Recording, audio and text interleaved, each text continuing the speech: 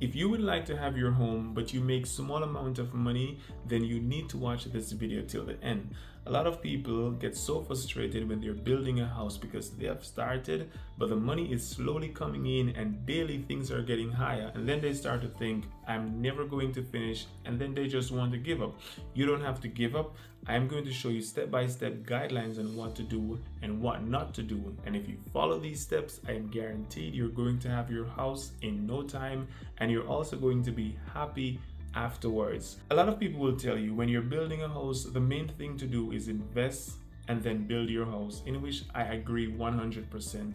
But let's say you're not in the position to invest and you get some quick cash. For example, you didn't really expect it. Some family inheritance, some insurance, are you winning some money and you didn't really expect that money. So you get a $15 million. And remember, yesterday you had no money and today you have $15 million. And you're like, you know, so excited you want to just go ahead and start building your house because most people would really like to have their own home they don't have to be knocking and asking someone to let them inside. They don't have to be paying rent at the end of the month or stuff like that. They just want to be so convenient and relaxed knowing that I build this for myself. Don't just rush. Getting $15 million without working and not knowing where the next penny is coming from. Don't just rush and to say, I'm going to start building something. Take it step by step because a lot of people get this opportunity and they make a choice in which they could they, they wish they could turn back the hands of time i am telling you. Because what they do they rush they just start building this big house not knowing how much it's going to cost to complete the, the house. And for example maybe the house is um an eight bedroom house they're building and it costs something like 30 million they only have 15 so it's like taking it halfway. And then it's not complete they're just hanging there now and saying crossing my finger i am going to soon get some more money so i can complete this house. And then one year turn into five year and five year turn into 10 years and then a decade has passed and the house is still not complete so you don't want to fall into that trap. Another thing that you need you, have to um try to understand is where am i going to build this house? Is it going to be a place where i can sell the house?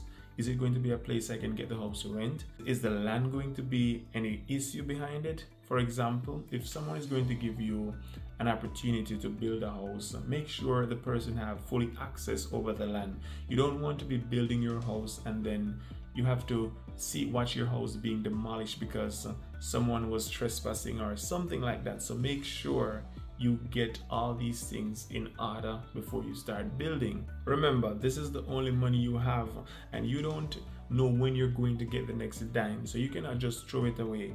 So you take it step by step. Try to have a full understanding of what you're doing. Because for example if you spend that 15 million dollars wisely and you invest some of it that can multiply in something else, you could be building your house and earning at the same time. And for example, your house will be continually growing slowly, but you'll be getting there and you'll be having something that is making a little money on the side. So this 15 million dollars, you're not just going to push it on a house that is going to go and then it's pause right there. You're going to invest it in something and you're going to watch the investing start to grow. And then from that investment, you will take a little part and you put towards the house. So don't just go and put that all that money on a house and that house probably is not going to earn you any money. If you're building the house for business purpose, let's say you're building the house to sell it well, I can understand that you're investing to do to, sell the house are you going to rent or something like that?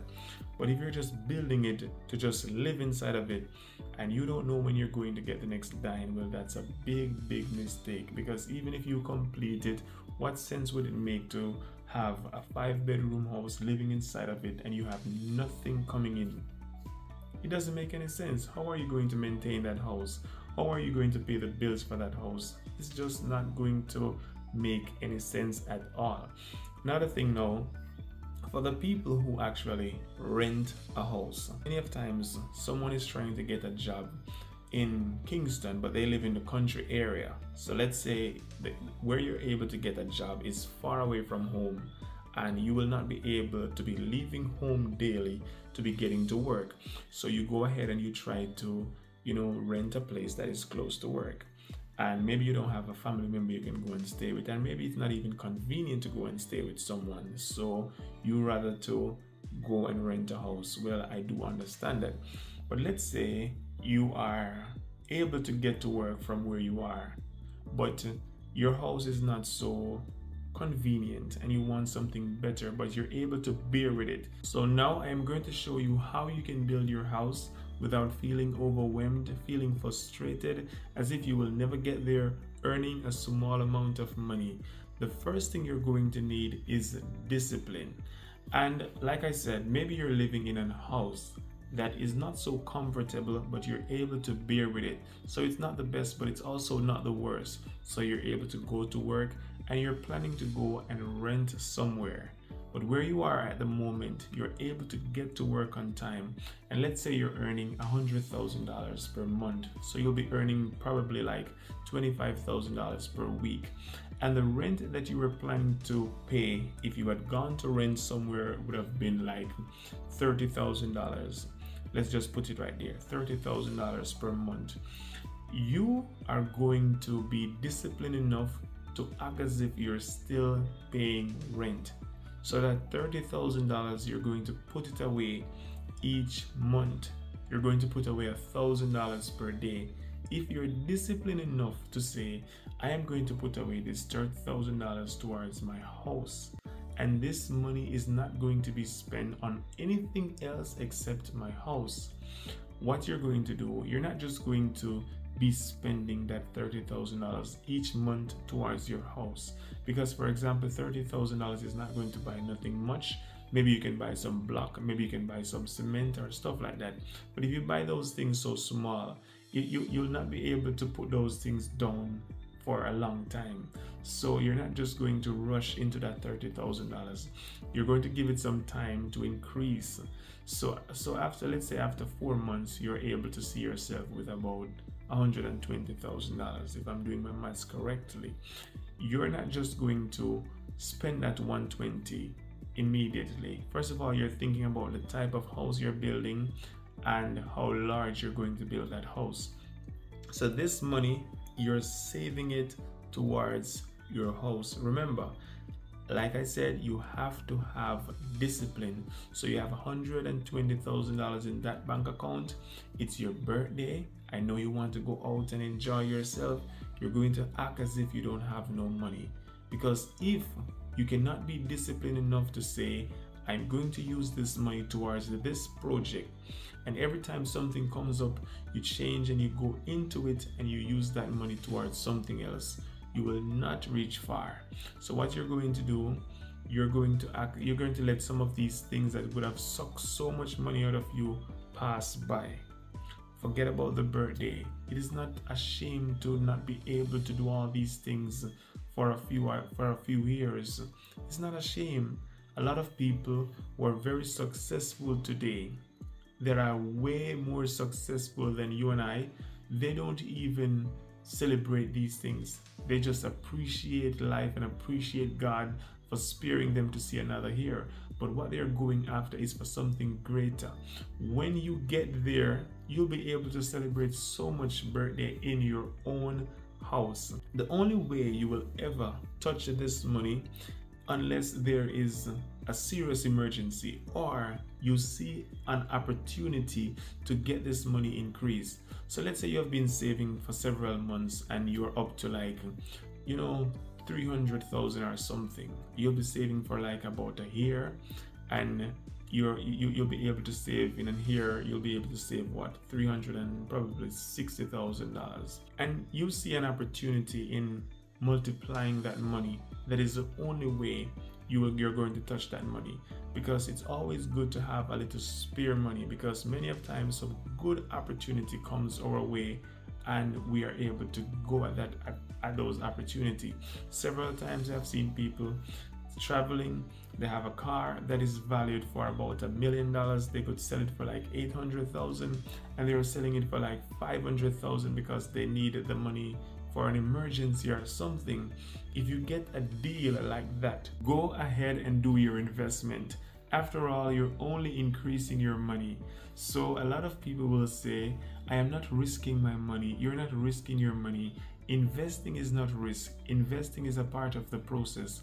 Everyone that you see that is really, really successful, they invest. Most of them, they work hard, then they save, and then they invest. It's a part of the process.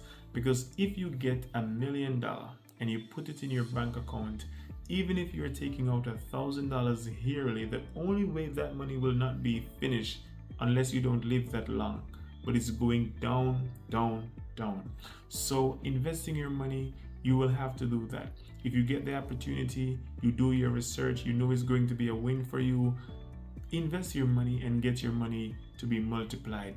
So let's say you do an investment and from three or four hundred thousand you're now you're now up to eight hundred thousand or something like that and you're ready to start the house because you're getting there and remember this money is towards the house and the only reason why you touch this money is because you see an opportunity in multiplying this money. So you take that you take advantage of that opportunity and now you are at a higher level.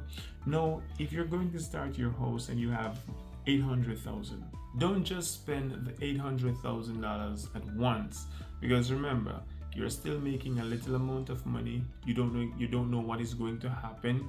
So you cannot just risk it all into something that is not going to be completed. So spend for example around $400,000 and that is able to start doing a little of the foundation.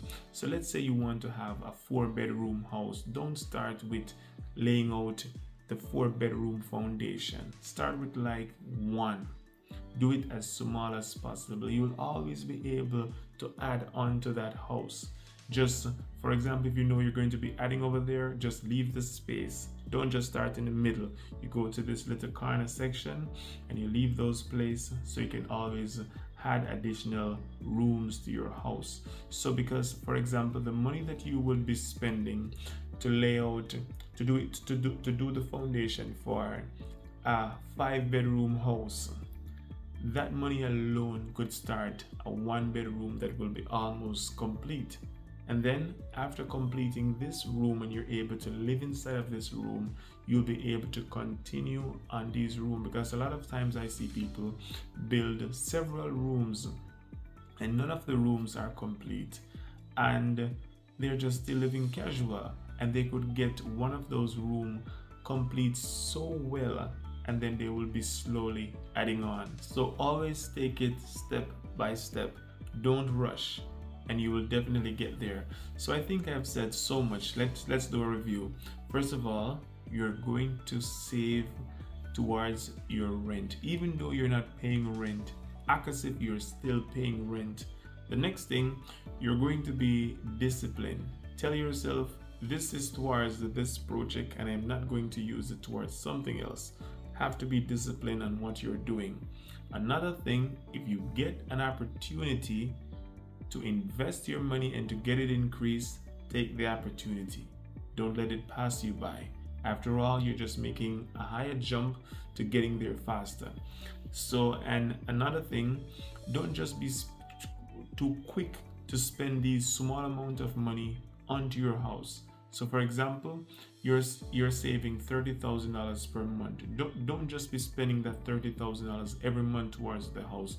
Put it away in a safe little spot that you know it's going to be all right even if you have to take it to the bank. But make sure you don't touch that money. That money is towards the house. Remember you're you're paying rent. And if you want good in life you will have to be able to make sacrifice. So when it's your birthday forget about these things when you could have be having three or four meals per day sometime you'll have to have two one day you'll be able to have three and four in your house. So I do hope that you have learned something from this video and I do hope that you get your dream house. So take this advice if you're not working, if you're not working and you get a quick money, for example, someone leave some inheritance, like I say, some insurance money, or you win some money. I don't know, but let's say you get some quick money. Don't just go and spend all that money into a house. Take the advice that I leave in the beginning. Make sure you know where you're going to build this house, how much this house is going to cost. Try to do something with some of that money that will continually bringing in money that you'll be able to keep building onto your house. So guys, I thank you so much. Do hope you have learned something. Let us know in the comment section your thought about this video and also be sure to be a part of the Greens family.